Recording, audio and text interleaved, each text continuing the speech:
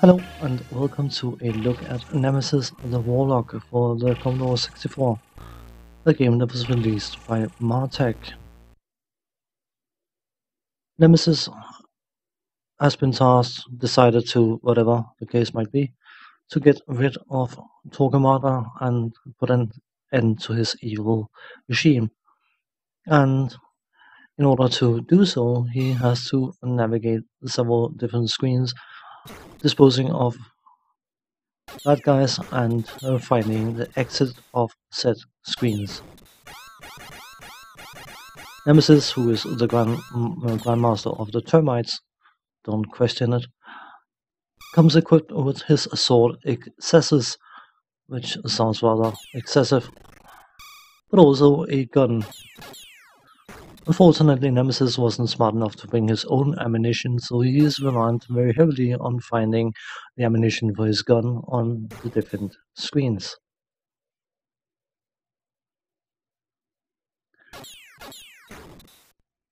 Looking at the interface, at bottom left you have his health, which is the heart being held by other hand and slowly squeezed, and you can possibly imagine what happens if uh, the heart is fully squeezed not very good for Nemesis. Underneath that, that is a number, which I will get back to in a moment. So right of that, the green helmet icon thing, it signifies a charge that Nemesis has one off per screen, where you can fire off a little fiery blob of lava that will destroy any enemies on the same gameplay level as he is on with a minor exception. To the right of that is the image of his gun, and underneath that is available shots. The gun can only contain 12 shots at any given time, so if you fire off one shot and pick up another cartridge, these bullet-like things you can see on the screen at you will be reset to 12 shots. It will, it will not stack, so it's something that uh, any player will have to be very mindful of. Furthest to the right is an image of Torquemada slowly fading in, and that is basically your timer because you can possibly imagine that if it fades fully in, a bad thing is going to happen. Well, let's get back to that number underneath the heart. That number signifies the amount of enemies that Nemesis has to dispose of per screen in order to progress. But it's not that simple. Because once he has killed the amount of enemies he's needed to, he needs to find the exit. What you know is that the exit can be at the bottom, the top, left side, or the right side. But only by trial and error will you actually be able to locate the exit. That sounds easy enough, but uh, bear in mind that as soon as the correct amount of enemies has been disposed of, the heart, uh, the hand squeezing the heart will start doing that at an alarming rate whether you are in contact with enemies or not, meaning that you have a very very strict timer for finding the set exit. But let's return to that after we talked about the technical aspects of this game. From a graphical point of view, I think there's a little question that this is one of the better looking Commodore 64 games, especially from that uh, era, age, whatever you call it.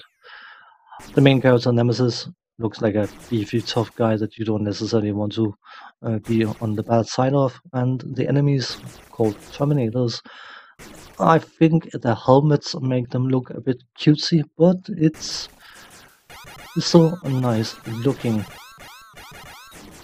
belonging to the graphics, of course, is that semi-physics uh, is involved with the corpses once you uh, turn the Terminators into corpses. It's not just a graphical gimmick, it actually has gameplay implications because the cartridges, of the bullets you can see, if the corpse of a Terminator lands on top of said cartridge, even though you know the cartridge, cartridge is supposed to be there, it is you can't pick it up. So you have effectively um, cause those bullets to be unavailable. So you have to be somewhat mindful of how you uh, dispose of the bad guys so they don't land where your bullets are. But more importantly, on certain screens, in order to actually find the exit, you'll have to basically stack corpses into a staircase. And uh, being on a timer, that means that you have to be very, very careful about planning um, how and when and from what direction you shoot the bad guys. Sound design is great. The gun sound, the swoosh sound of the sword, and everything else sounds very, very uh, well made. And the sound quality in general is very, very high.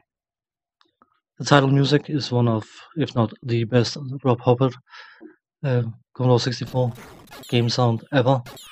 Um, it is definitely one I rank very, very highly. But the gameplay, which of course is of utmost importance. What makes it cool, in my opinion, is also what makes it frustrating. The fact that you have the enemies flying all, all over the place when you shoot them looks rather cool. The fact that you have to sometimes stack them into staircases and avoid taking damage and conserve your ammunition and all that kind of stuff at the same time starts becoming a pain at later screens. Now, the fact that you don't know exactly where an exit is unless you have found it by trial and error means that once you start completing screens later down the line and you come to a screen you have never seen before, you start looking for the exit once you've killed the bad guys, but then because of the natural squeezing of your heart, you will find that you die very quickly and have to work your way back to that screen before you get another shot at exiting correctly. It is probably done to uh, give the game some longevity, but it can also discourage you from continuing to play the game once you realize you have to play through six tough screens in order to get to that one screen you are struggling with, not knowing whether you will find the exit the next time you get to it either. Nemesis the Warlock for the Commodore 64 is a great game, but it can be extremely frustrating. On that note, thanks for watching, take care, see you next time, bye bye for now.